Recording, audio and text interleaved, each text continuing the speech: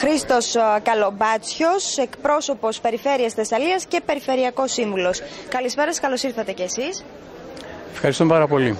Λοιπόν, Περιφέρεια Θεσσαλίας, ε, μια περιφέρεια που διαθέτει πάρα πολλές ομορφιές, ε, που αποτελεί ε, τουριστικό προορισμό, αν δεν κάνω λάθος και τις τέσσερις εποχές του χρόνου.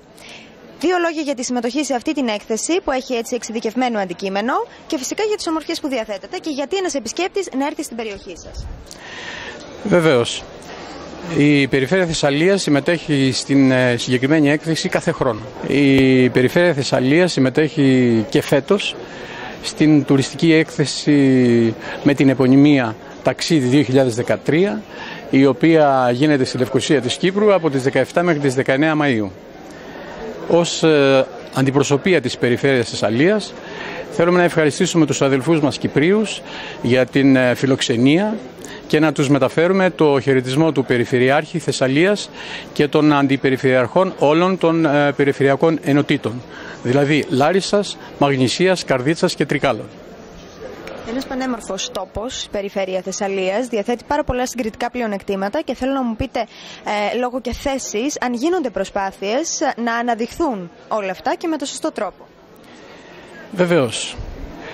Η περιφέρεια Θεσσαλίας έχει να δείξει πάρα πολλά αξιοθέατα, πάρα πολλούς τόπους, τουριστικούς τόπους προορισμού και για χειμερινό και για θερινό τουρισμό.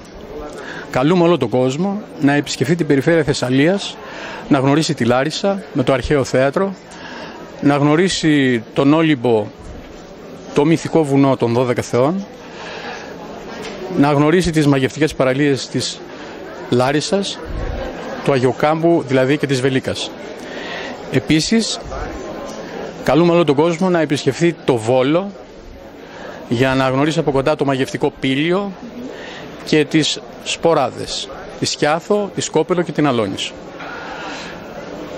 Επίσης, τα Τρίκαλα μπορεί να επισκεφθεί τα Μετέωρα που είναι ένα παγκόσμιο μνημείο πολιτιστικής κληρονομιάς, ένα θρησκευτικό μνημείο και το οποίο αποτελεί μοναδικό γεωλογικό φαινόμενο σε όλο τον κόσμο.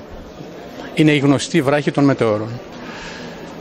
Τέλος, να επισκεφθεί την Καρδίτσα με την πανέμορφη λίμνη του Μέγδοβα.